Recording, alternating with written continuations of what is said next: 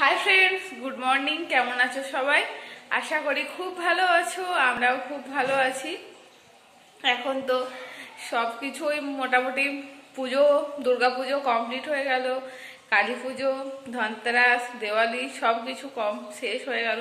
আবার সামনে বছর জন্য অপেক্ষা। এই কদিন সেরকমভাবে কোনো কাজকর্ম ছিল না। এবার সব কিছু শুরু হয়ে গেছে অফিস টফিস নর্মাল যেমন লাইফ ছিল আবার সেরকম ফিরে যেতে হবে, তাই না? সেই জন্য কদিন আর ভিডিও ফিডিও কিছু করিনি। আবার আজ থেকে শুরু করলাম। আমার এই রুমটার মধ্যে মানে তিনটে, দুটো দরজা আছে, একটা বড় পাড়া, একটা বড় জানালা আছে।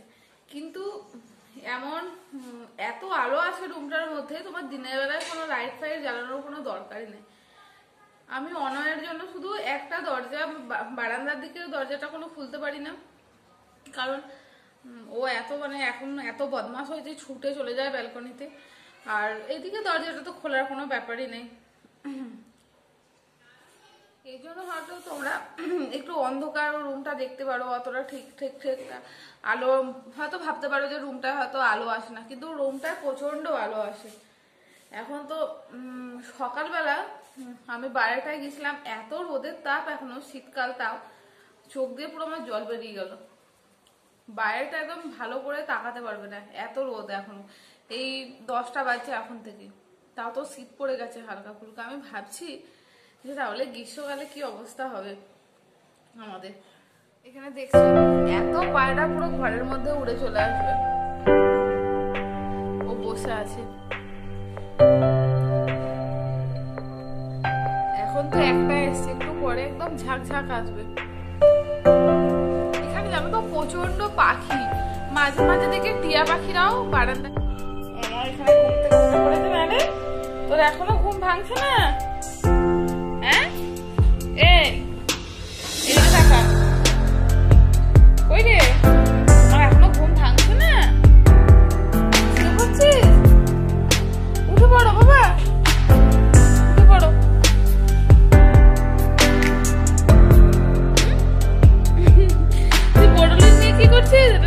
এটা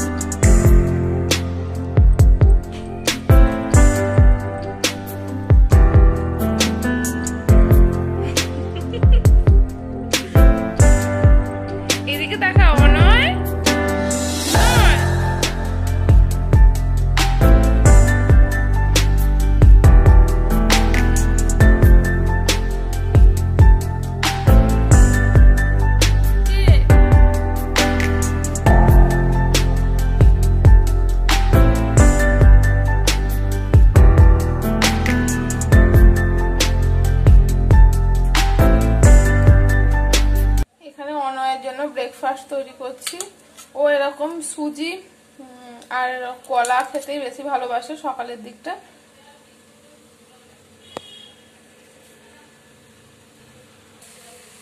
বেশ নর্মাল সুজি। এর মধ্যে কিছুই দিইনি। ও, অন্য কিছু সেরকম ভাবে খেতে চায় না সকালের দিকটা।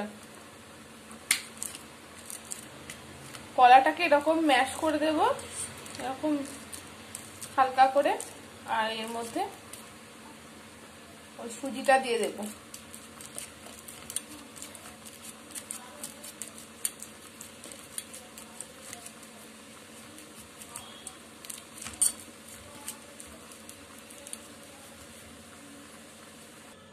ব্যাস, এইভাবে কলাটা ইয়ে করে নিয়েছি, ম্যাশ করে নিচ্ছি এর মধ্যে সুজিটা দিয়ে দেব।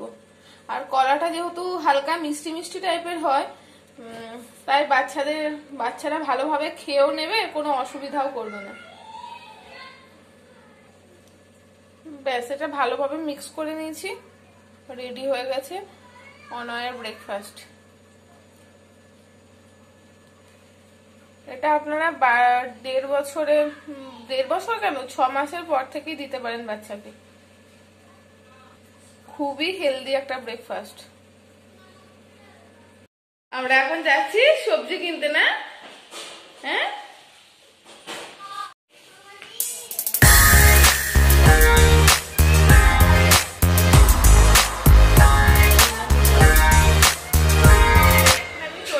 রান্নাঘরে। চিকেন স্টু বানিয়ে নেব। তাহলে চলো তোমরাও দেখতে থাকো আমি কীভাবে বানাই।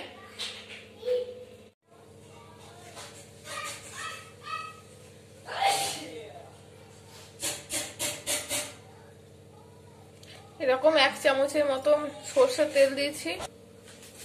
আর এখানে অল্প করে পেঁয়াজ, রসুন কেটে নিয়েছি। এখানে দেখায় কি কি সবজি। গাজর গাজর, লাউ, আলু, টমেটো। আর এখানে মশলার মধ্যে আছে হলুদ, নুন, জিরে গুঁড়ো, ধনিয়া গুঁড়ো। আমি এটা হিমালয়ান পিঙ্ক সল্ট ইউজ করি।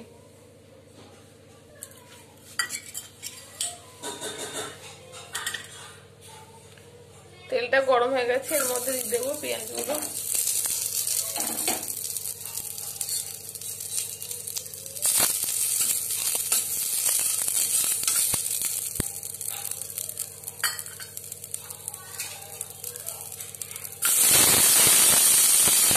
সব সবজিগুলো দিয়ে দিচ্ছি।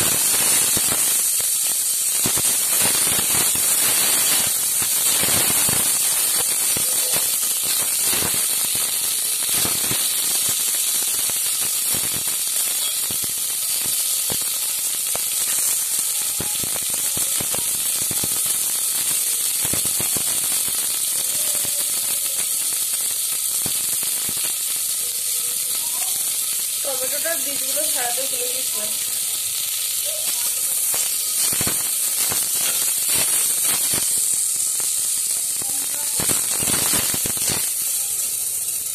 এর মধ্যে চিকেনগুলো দিয়ে দেবো।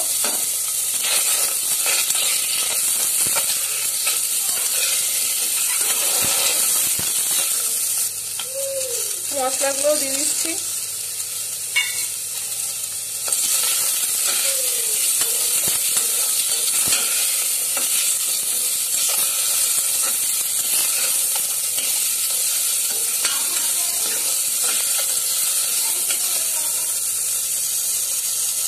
ব্যাস এবার পরিমাণ মতো জল দিয়ে দেব ব্যাস এবার দুটোর মতো সিটি লাগিয়ে দেবো তাহলেই হয়ে যাবে কমপ্লিট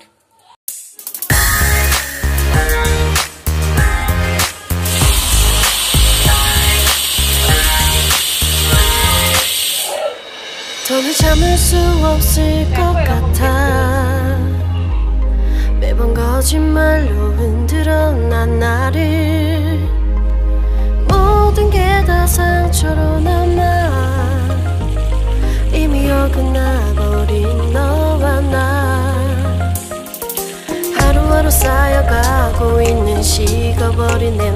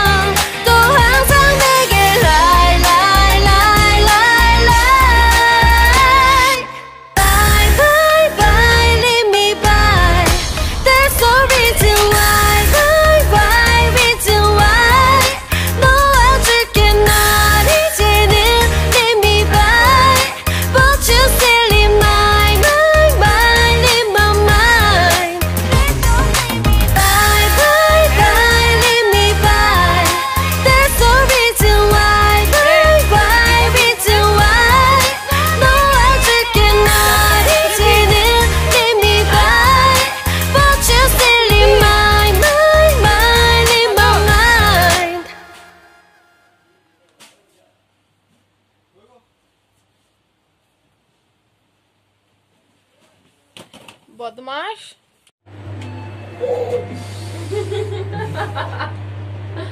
এই যে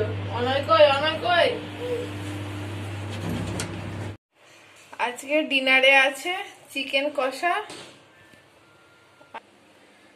পরোঠা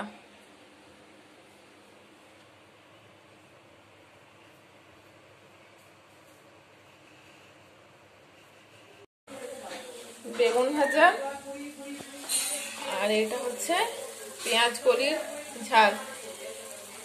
এবছর শীতকালে প্রথম পেঁয়াজ কলি।